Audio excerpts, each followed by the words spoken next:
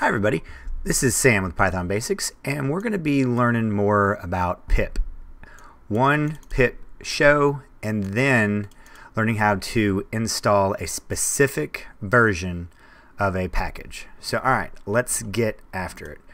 So normally what would be next in our series is Django.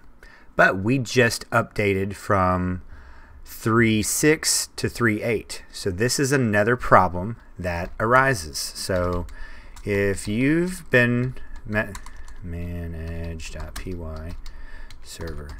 Well, before we get started, this is why it's so important to make sure you're subscribed and hitting that notification bell. So, all right, we know this worked last time, and we see uh, module and module not found. So wait a minute, pip dot list. Oh yeah, because it's in our old version, but Python with its path is only looking at so there it is. So now we need to also then learn about show Django. So we're going to learn about show, what it does. It literally will show you the package, of course, the version, so 2.2.7, so remember that. And then it'll tell you the location, and here's something we're going to start looking more at, dependencies, and uh, what it requires and what it's required by. So here is another little, tit, a little tidbit. So that's why it's so important to keep up and watch these because we build one video upon a time. But we also have the playlist so you can go back and look at them.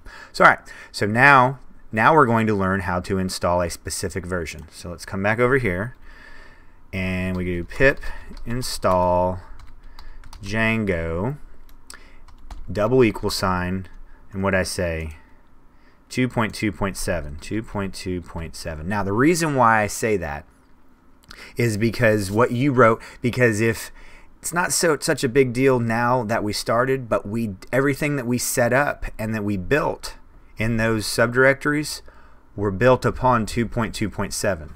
So just in case in the few months that we've done, some things have changed, leave them be. And we'll start building upon this about building environments, and then we're going to really get fancy very soon where we're going to have a requirements file in our environment. So only those list of packages with those specific because if you're working with something and you send it off to some somebody so they can have the same conditions and the code and the bugging and the requirements all work together. Now we're getting into that dependencies and requirements. They are important. And you're you're you're learning you're learning a lot. So we're just going to let this play out and we'll be right back. So there we go. And then we can do pip list and then also then what we just learned pip show Django. And here we are. And this is our new version. And then we just go ahead and python manage.py run server for a second there I didn't think you guys could see all this so there we go it's up and running so this is how you solve this issue. So now we know how to do pip install specific version and we just learned about pip show. So all right, next video we'll pick up with Django. And as always guys, please drop any comments, questions, or any video requests below and I'll get right to them. As always guys, thanks for watching, stay tuned, and we'll see you next time. Bye guys.